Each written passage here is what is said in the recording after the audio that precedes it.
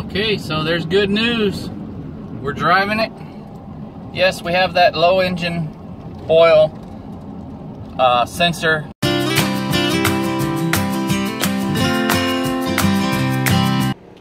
All right, well, good morning. Finally got some stuff going on. You would not recognize it though, because um, they've got everything out of the uh, camper. They're um, putting in some insulation over here. Some of this, uh, this will be the first time it's ever been used in the summertime. So uh, they wanted to put some insulation in it. They're going to go somewhere for about a week uh, down to Big Bend and go camping. And they're going to take a little air conditioner with it. It actually, we tested it out in just the window and it did kind of cool it down. But um, if it gets up into 100 degrees or whatever, it probably won't keep it. And um, you know, we've never put insulation in there. If you check out the videos, it's because we've never used it in the summer before.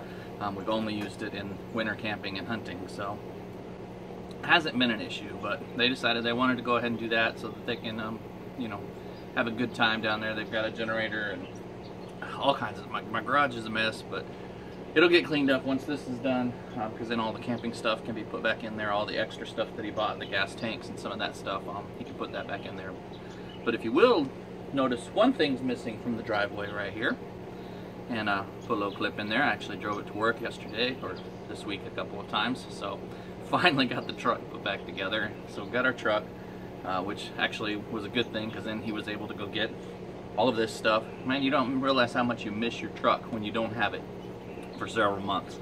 Um, he went and picked up a bunch of metal for me so I can get some back onto some of those projects that I've got going um, that needed some metal. Um, one thing I forgot was the two inch square tube for my um, my hammock stand I want to make. But um, yeah, I'm to modify this little blue trailer also, the yard cart, um, since I put that hitch on the lawnmower and then there's hitches on the golf carts.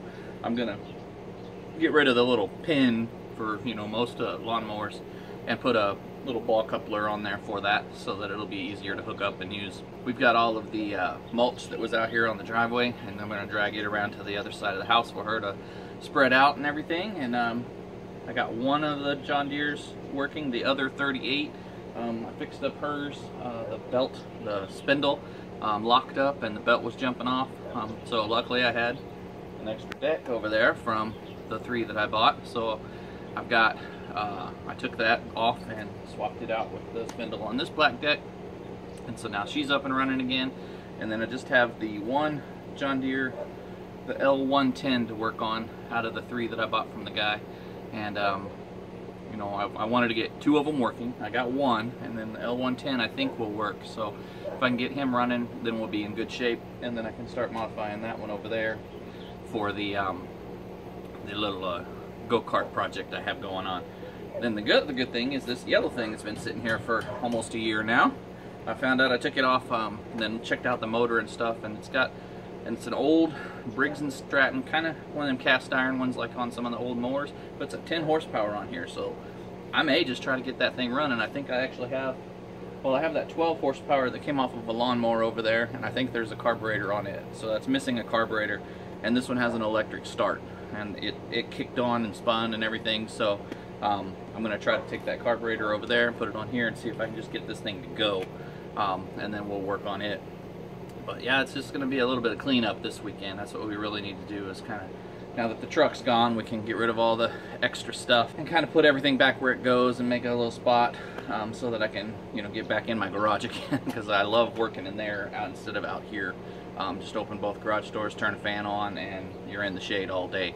So it works out a lot better than than having, you know, the driveway taken up by the truck and can't get in there. So anyway, as always, just get out there, do something that you like, um, find you a nice little hobby and enjoy the day, and we'll catch you in the next video. Thanks for watching.